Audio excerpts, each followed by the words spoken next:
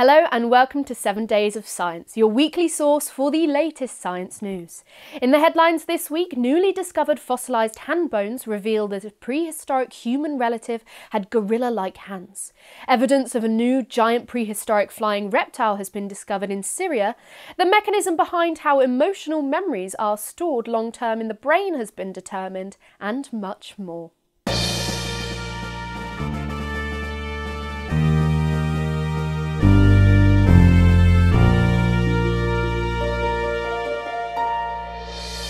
Our top story this week is an exciting new paper documenting the first bones from the hand to be found from a species of prehistoric human relative called Paranthropus boisei. This kind of ancient hominin existed from at least 2.6 to 1.3 million years ago in Africa. Paranthropus is known as the robust Australopithecine due to its strengthened jaws, large molars, and the conspicuous crest that ran along the top of the head to anchor powerful jaw musculature. These adaptations seem to have allowed Paranthropus to chew tough plants. However, apart from the skull remains and teeth, few other parts of these hominin skeletons have been confidently identified, as it's been very rare to find bones from the skeleton directly associated with diagnostic bones from the skull or teeth. Now, though, a relatively complete hand and some foot bones have been discovered alongside Paranthropus cranial and dental fossils, the first time such bones have been identified with certainty. The hand displays a robust and long thumb plus a flexible little finger, similar to modern humans, meaning Paranthropus was quite dexterous. But the rest of the hand was surprisingly not very human like at all. The finger bones themselves look almost exactly like those of modern gorillas, being remarkably robust, suggesting Paranthropus could flex its fingers powerfully. The researchers don't think Paranthropus was using its strong hands to climb regularly, since it doesn't have the curved finger bones of many tree-living primates. Instead, the revelation of gorilla-like hands suggests they were perhaps forcibly stripping plants such as grasses from the soil, and were potentially also wielding basic tools. It's a fascinating new glimpse into the anatomy of this ancient hominin, and suggests that studying gorillas could be a good way to learn more about the evolution of human hand manipulation. We have more news about research into ancient humans next, although this one is much more recent in timescale.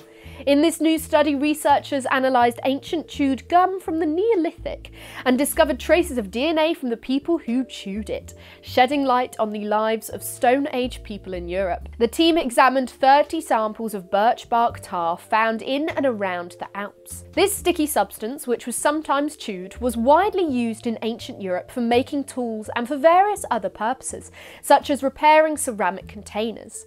Remarkably, they discover human DNA in the tar, along with microbial DNA from the mouths of these prehistoric people and remnants of their food. Evidence that these early humans consumed wild plants alongside cultivated wheat and barley suggests that wild resources continue to be important in Neolithic diets. The study also determined the genetic sex of the individuals who had chewed the substance, revealing that male individuals tended to use the tar for hafting stone tools, while female individuals individuals were repairing pottery. However, the sample size was very small and the study warns that it's not a clear-cut example of division of labour at these sites. Nonetheless, it offers a fascinating glimpse into the past. Also in the prehistoric news this week, we've got a new species of dinosaur named Huayracursor jaguensis. It was found in late Triassic rocks in Argentina, dating back approximately 230 million years.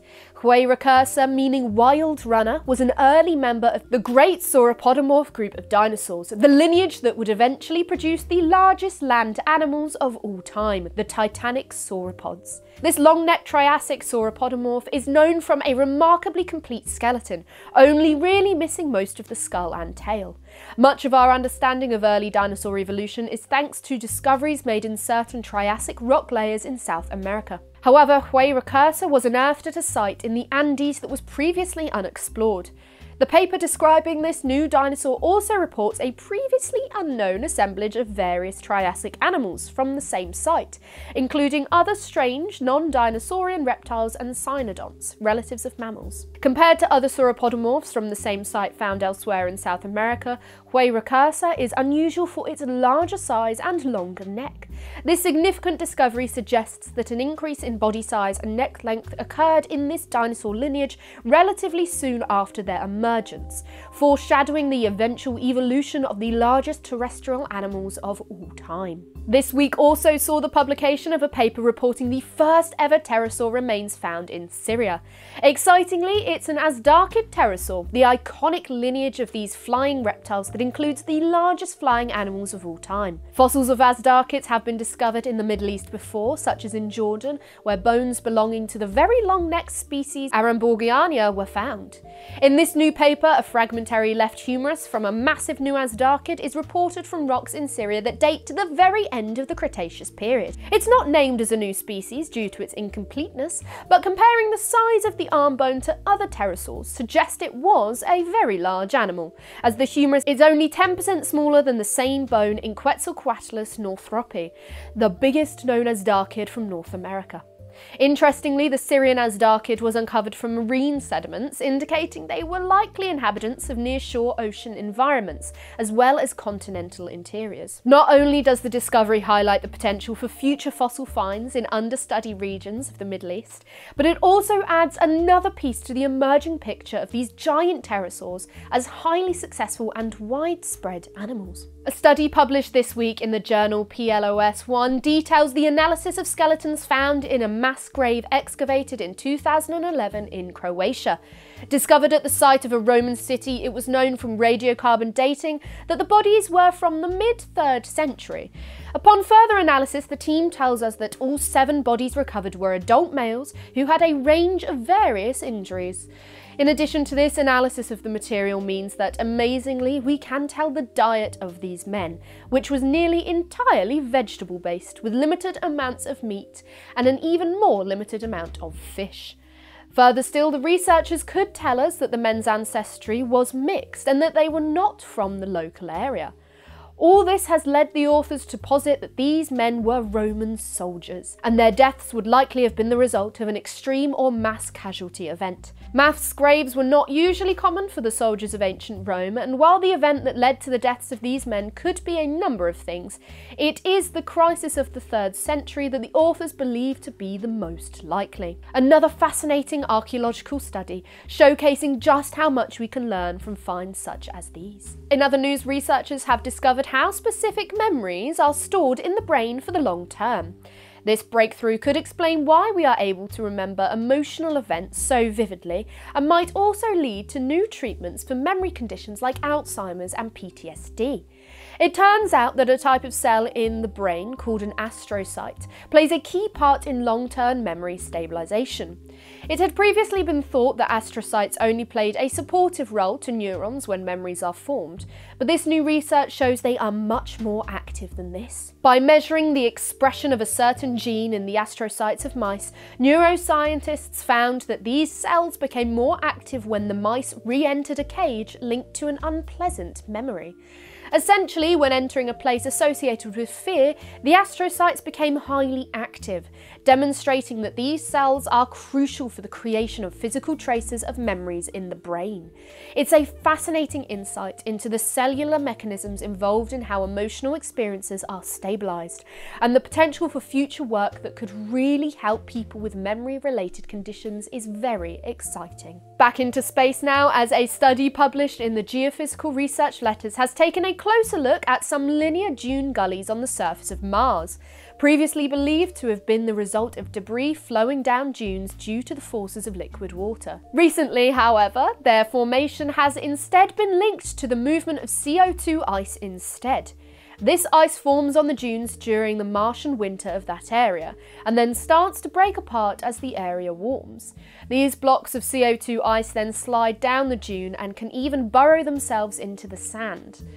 Due to the expulsion of high pressure gas, these blocks of ice can be moved into their positions fairly violently. These processes were simulated during this study by recreating the Martian landscape and atmosphere and slowly warming carbon dioxide ice to see what would happen. Obviously, it's a little more complicated than that, but that's the gist of it. So the scientists could actually see what was happening on the red planet before their very eyes.